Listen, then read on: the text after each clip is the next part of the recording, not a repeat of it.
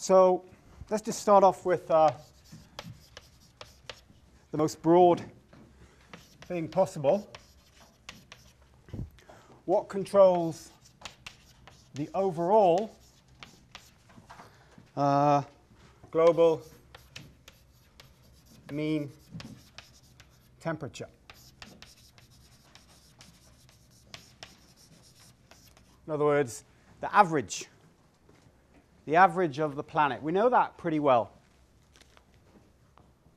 We know it pretty well over accurately, let's say, since maybe even, well, since we've uh, had thermometers.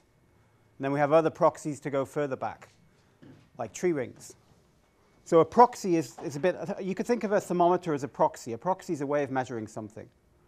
So for climate, uh, you have proxies. And if you want to, if you, you can go so far back with different proxies. Thermometers have been around for uh, 70, maybe 250 years. So we can have accurate temperature records, but then there, weren't, there wasn't everywhere around the globe. Right? I mean, there's obviously a lot more records of temperature over land than there is over the oceans. But then since the 60s, we've had satellites, and now we have the temperature record of the atmosphere. So we have a pretty good idea of the global mean temperature. So what controls it, ultimately? Anybody want to hazard a guess? What controls the temperature of the planet, ultimately? The main thing is the heat that comes in and the heat that goes out, right? You get heat from the sun, the planet heats up, it gives off heat. So ultimately, the thing that controls the temperature of the planet is electromagnetic radiation. So it's all about radiation. Okay? So EM radiation. Light. Basically, how much heat goes in and how much goes out. How much heat enters Earth and how much leaves it.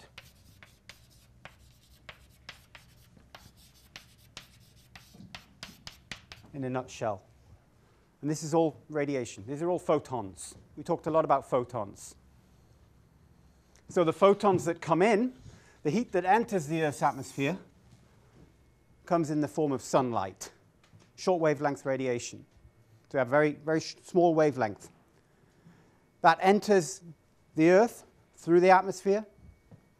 The Earth heats up, and then the heat that comes back out is of a much uh, longer wavelength. The reason is because the sun is incredibly hot. The surface temperature of the sun is maybe 5,000 degrees centigrade, which means it gives off, when things are really hot, they give off a different type of light. So the sun gives off all sunlight mainly. So this is why our eyes have developed to work very well in sunlight.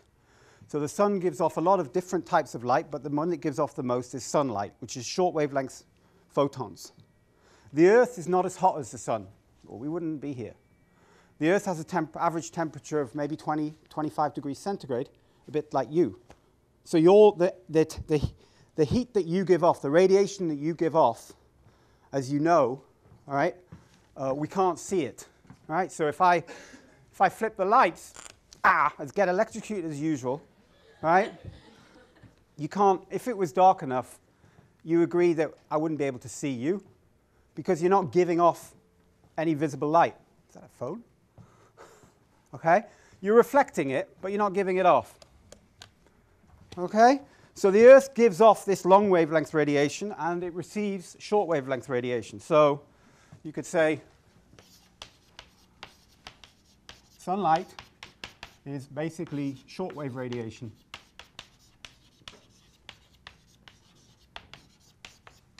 Which we can represent with this type of thing. So it has a lambda S, if you like okay? And it's characteristic of its temperature.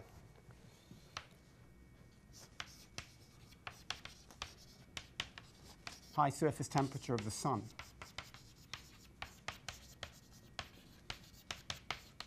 So the sun's surface temperature is 4,800 degrees uh, Kelvin. Or if you want, yeah, that's fine. Actually, it's 4,800 degrees C. Doesn't make too much difference at that point. Okay? So because the sun is really hot. I mean, it's much hotter in the center, but at the outside, it's about that. It gives off this type of radiation, short wavelength radiation. The hotter something is, the shorter the wavelength radiation it gives off. Um, so the sun is very hot, it gives off this type of radiation, whereas the Earth gives off, or emits, gives off, long wavelength radiation. There's something going on in the other room, I think, so I might have to get a bit louder. Always put a loud movie clip on. The Earth gives off long wavelength radiation, principally because the Earth's temperature, so you could represent that something like this, lambda Earth. And this is because the Earth's surface temperature is about 20 degrees C.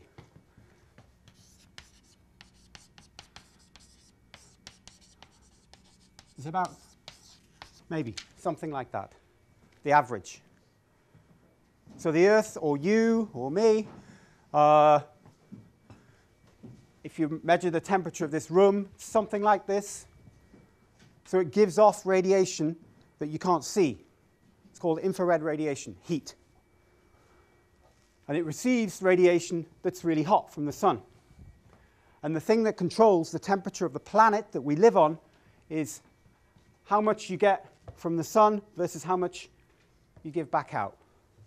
All right? It's the net. It's, it's, a, it's an energy balance. So let's represent that as a picture.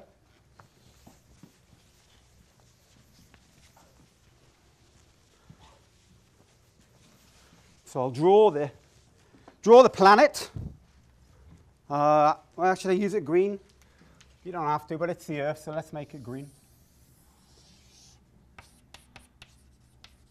Okay. Um, and it has this atmosphere.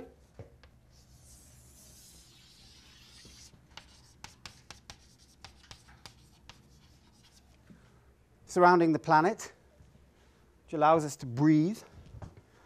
And it receives light from the sun. This sunlight. So the sun's all the way over here, if you like. The Earth receives light from the sun, but notice it's only getting it in one direction, from over here. And then the Earth heats up and it gives out radiation that is long wavelength.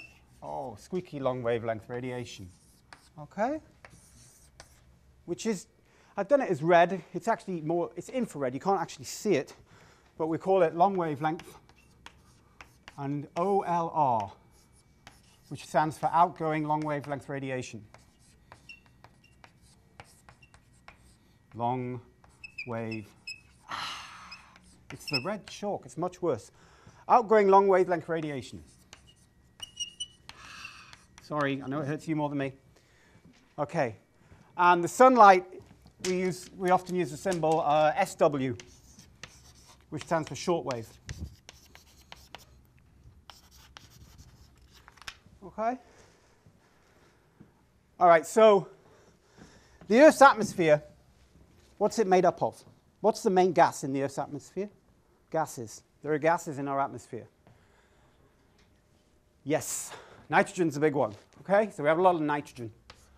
Nitrogen, nitrogen, nitrogen, nitrogen, okay, a lot of nitrogen.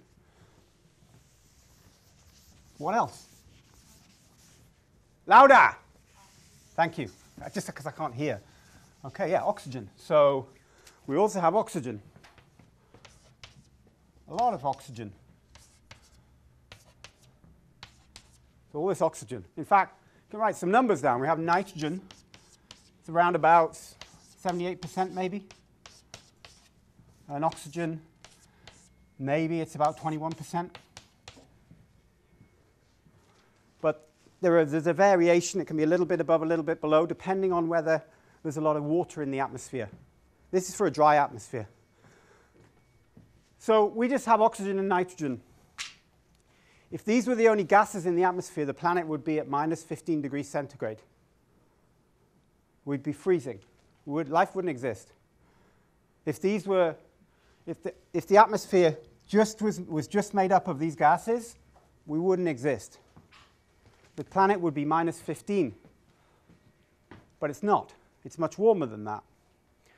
And it's because there, is, there are other gases called trace gases, which have the ability of reducing the amount of outgoing long wave radiation, which means not as much gets out, which makes the planet a bit warmer.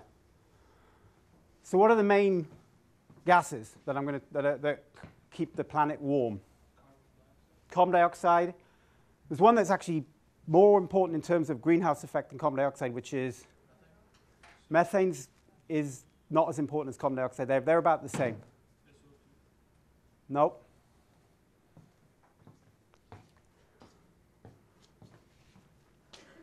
Which is it actually more has a bigger impact in controlling the temperature. It's, it's, it's, it's, there's a lot more of it. It's not up there yet. Anybody? No. So there's not that. There's, not, there's a lot of it. Two percent of the atmosphere is made of this stuff. If if the if the atmosphere is in the tropics, and it's polyatomic. Notice these are diatomic. The diatomic means two. So diatomic molecules don't um, trap heat because they're diatomic. We can talk about that later. But these are both diatomic. They don't have any effect on controlling heat. So sunlight goes in, go, heat goes out, planet freezes. Which is the gas that you have? Uh, there's a lot of it. If you look in the sky, it's everywhere. I can see one right now. Yeah, which are made up of? Right, it's water vapor, okay? Water vapor is a very significant greenhouse gas, okay? So H2O. Ah, come on, there we go. H2O, H2O, H2O. So it's a, in, in a moist atmosphere, H2O can be up to 2%.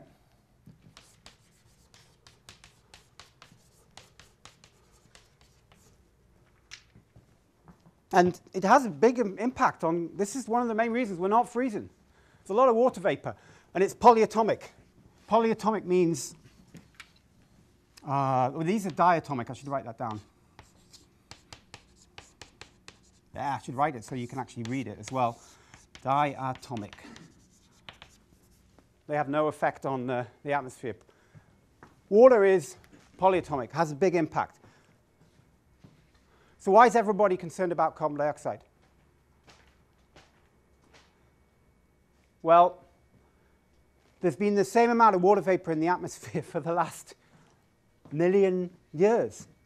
Because what happens with water vapor, water, it evaporates from the ground or from rivers or from sea. It goes into the atmosphere and it forms clouds and it comes back down. And then it goes back up and it comes back down etc., etc. It doesn't build up. So the water, this, this has never, this does not change. This is constant. As basically as it rains out after maybe a week or a few days. Okay? It rains out. So water vapor is a very important greenhouse gas, but it's not increasing, not yet. Because it rains, you get clouds, right? So it never changes, let's say. However, carbon dioxide, methane, are also are very important, but there's hardly, there's not a lot of them. CO2 is about, right now it's maybe 0.04%.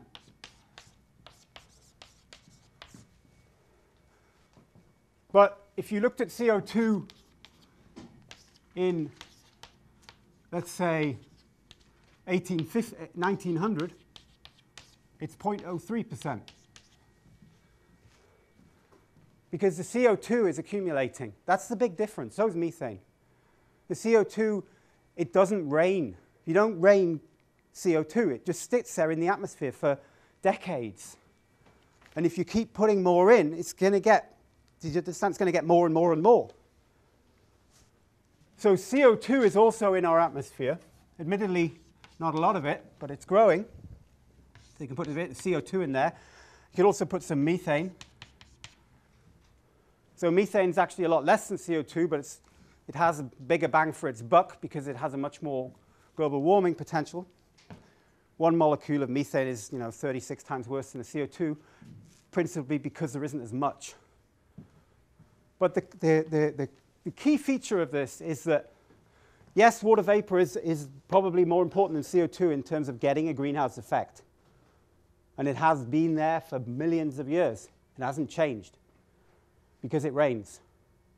This one, on the other hand, is growing, and that's, that's why scientists are concerned. I mean, this is, a big, this is a concern for humanity. This thing is not decreasing, it's going up and up. Right? Yes, it's very small. But you know, if you have 0.03% blood alcohol level, then you're not allowed to drive. That's a very small amount, but you know, little things can have a big impact. But it's basically, it's growing. You go from 1900 to now, you've got an increase from 0.03 maybe to 0.04%. So this is a big, in terms of how much you have. So it accumulates.